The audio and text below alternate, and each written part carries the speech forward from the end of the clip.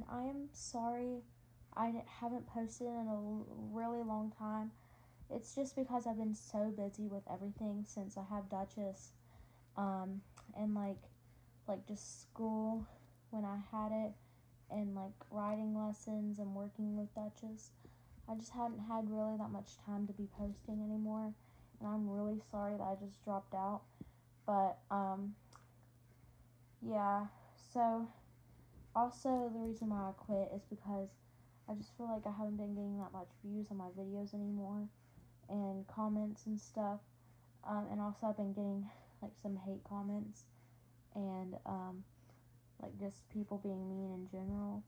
So um, yeah, so if y'all want me to just like start posting like videos like just randomly, I can and just like maybe just videos of Duchess, even just some of those, just let me know.